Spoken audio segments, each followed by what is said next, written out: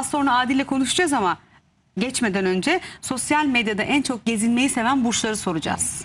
Sosyal burçlar bunlar. Sosyal burçlar, iletişimi seven burçlar. Yani hani yaylar, Yürüyüşü kovalar, de seviyorlar. ikizler, Evet. teraziler. Bunlar çok fazla koçlar. Koçlar da öyle, koçlar da koçlar da öyle. öyle, Çıt çıt çıt çıt iki dakikada ne olmuş ne bitmiş. Koçlar da mı yürüyüşü seviyor? Tabii sever. Yürüyüşçü onlar yürüyüşçü. Tabii. Koçlar da şimdi bazen anlatırken atlıyoruz çünkü laf lafı kesiyor. Evet. Koç burcu en cesaretli burçtur. Tabii Değil mi? pervasız, Tabii, pervasız. Pervasız, direkt Pervasız, atlar. tabii, tabii, yani tabii, tabii. hani bazı burçlar vardır bir ilişkiye girmeden önce 40 yıl düşünür. Ayrılayım mı, gireyim mi, edeyim mi? Koç burcu bir şey hissettiği an itibariyle kim Direkt. ne derse desin direkt o işin içerisine girer. Yani koçlar çapkın erkekler mi? Çapkın olma olasılığı yüksek erkekler. Evet Öyle, onları da koyalım. çok geçiyor ya. Uzak Pervasız kelimesi Uzak çok mı önemli durmak bakın. gerekir koç erkeklerinden? Hayır bence çok eğlenceliler. Yani az önce söylediğimiz gibi yani bu romantizm ve aşkı dolu dolu yaşamakla Evet. çapkınlık arasında çok ince bir çizgi var. Yani o insanlar birçok e, olayı gördükleri bildikleri için zaten sana o güzel mizanseni, o sahneyi, o olayı sunabiliyorlar. Evet. Hani böyle Koçta bakmak var bu. gerekiyor. Bayağı Koçta yürüyüş var. yapıyor. Bayağı Peki yürüyüş yapıyor. yürüyüş derken Yani şimdi e, açık hava yürüyüşü mü? ya bugün öyle diyor gençler. Yani diyorlar ki işte bana yürüdü şu bu böyle bir tabirler var. Bugün gençlerin jargonuyla da konuşabiliyor olmamız lazım. Dolayısıyla yani yazmak, DM'den yazmak var ya hani Evet. aplikasyonlardan falan. Dolayısıyla bundan bahsediyorum. Sosyal medyadan karlı çıkan kim oldu biliyor musun? Kim? Erkekler oldu. Niye? Nedenini anlatayım mı? Neden? Şimdi sosyal medyada eskiden bir erkeğin birçok kadınla iletişime geçebilmesi, bir yerlerde tanışabilmesi kolay değildi. Bugün adam normalde kadınla yüz yüze konuşurken öyle cesaretli değil. Ama ekrandan pıtı pıtı yazıyor adam el kası yapmış. Sürekli sürekli olarak yazıyor adam. Doğru. Ve çok sayıda kadın da adamlara da yazabiliyor. Bak çevremde gerçekten hani at hırsızı diye tabir edeceğim arkadaşlarım var gerçekten. Hani illa her erkek yakışıklı olacak diye bir şey yok hani. Atırsız. A- Atırsız deriz biz. Ama adamlara bile, o arkadaşlarıma bile, liseden beri arkadaşım, çok eski dostum. Aynı anda yazan bir sürü kız oluyor. Dolayısıyla rekabet çok yoğun. Ve erkek buradan biraz şımarıyor. Diyor ki abi diyor oturduğum yerden zaten birçok kişi bana mesaj atıyor. Ben diyor rahatım.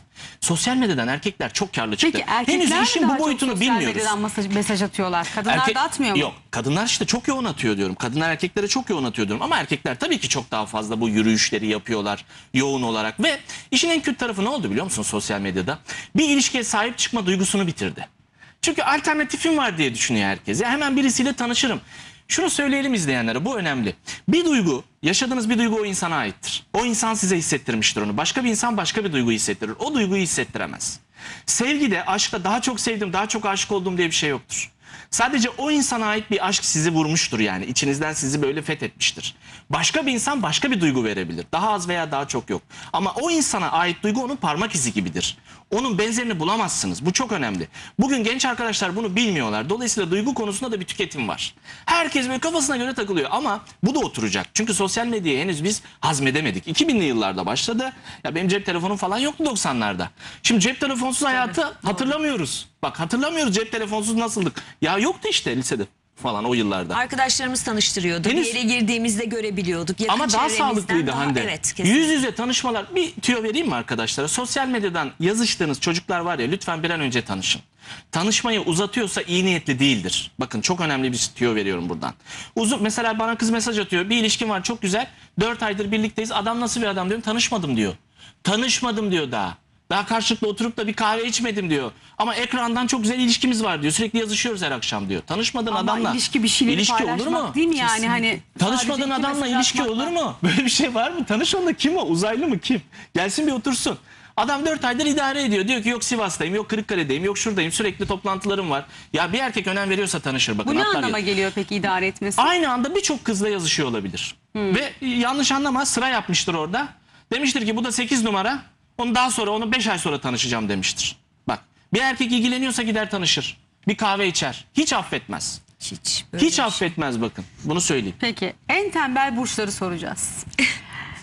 Tembellik çok önemli. Tembellikte Çünkü bir düşünsenize- numara. Bir numara? Bir numara terazi. Aa, Tabii. Tembel burçlar bir tanesidir terazi değil mi? teraziler. Ben oğlan. Ha, oğlan. Ben Ama oğlan. yükselenin terazi olduğunu söylemiyorsun. Şimdi güzel bir şey söylediğinde. Nereden çıkarttın bunu?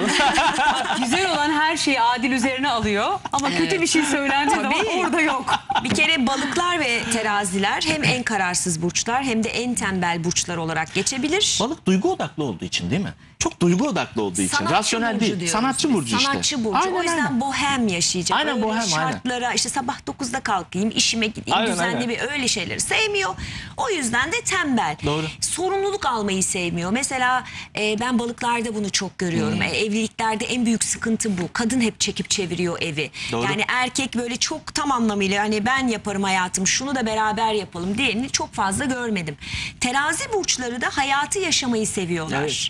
O yüzden de mesela ben hep söylerim çok para kazanmak hiç mühim değil. Kazanırsın ama senin onu nasıl harcadığın önemli. Mesela terazi burcu da şekilci bir burç olduğu için diyor ki ben bu kadar çalışıyorsam en az 2-3 günde yatabilmeliyim ya da en az 2-3 günde kendime gelebilmeliyim. güzel ben kendim mantık. terazi olduğum için çok iyi biliyorum.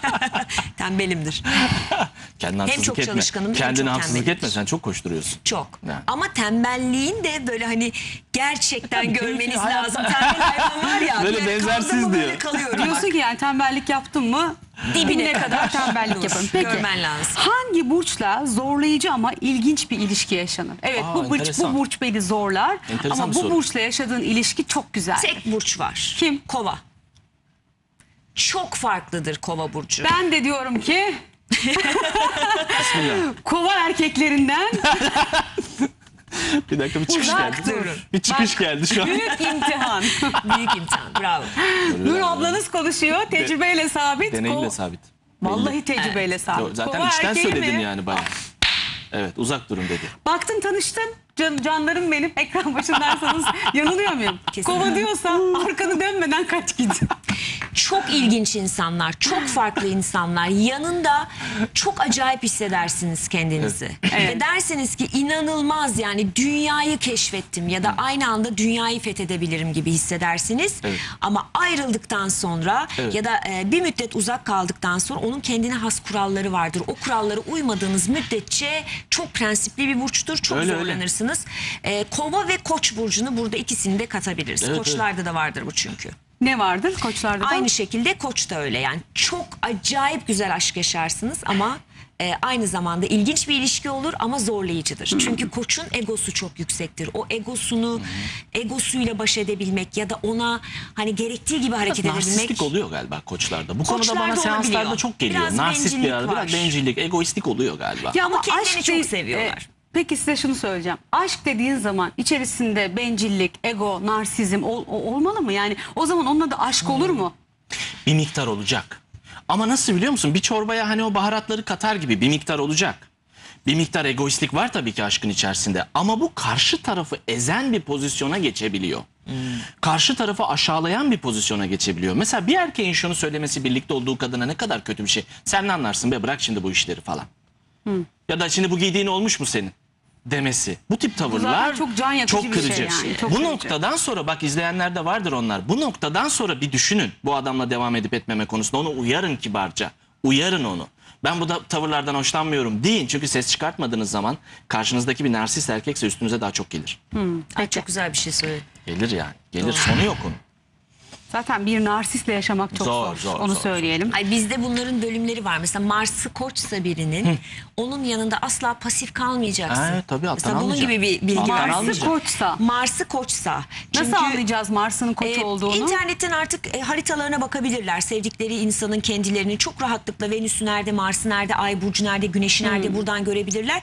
E, Koç burcu bununla çok bağlantılı. Bağlantılı. Yani onun yanında çok fazla kendini aşağıya çekip sessiz kalmayacaksın. Bazı burçlar vardır ki sen ona bir şey dediğin zaman e, yani o sana böyle dank diye geldiğinde sen ona ha dersen kalır. Doğru. Evet. Koç'ta bu var. Şimdi